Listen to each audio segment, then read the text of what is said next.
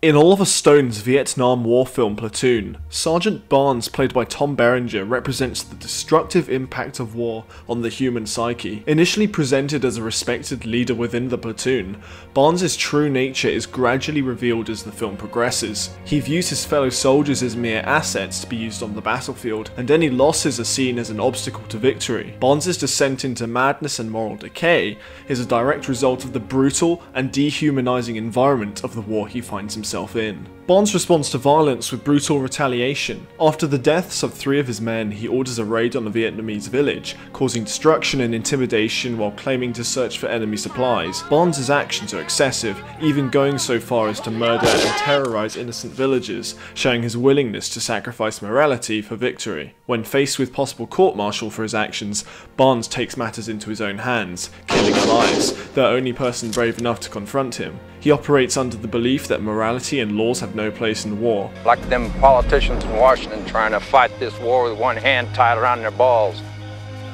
Ain't no need or time for a courtroom out here. He has become a predator, reflecting the jungle environment he has spent so long in. The scars on his face serve as a testament to the physical and emotional trauma he has endured, and he remains a respected and experienced soldier among his troops. By causing the death of Elias, Barnes makes an enemy of Elias's group in the platoon. He has made the platoon fight amongst itself, with men like Chris Taylor posing a potential threat to his authority. We also see that Barnes has become blind to what he has become. This is highlighted in a scene where where he criticizes the troops for using marijuana to escape reality, while he himself is drinking from a bottle of whiskey. Barnes didn't kill Taylor there and then, recognizing that he would lose control of the soldiers who were loyal to Elias. Instead, he took the opportunity to attack him in the chaos of the later battle. Robert McKee's story states, True character is revealed in the choices a human being makes under pressure. The high pressure environment of the Vietnam War dulled Barnes' humanity, making him a ruthless killer, prepared to do what he deemed necessary to give the Americans an advantage. His actions reveal how war encourages the decay of morality,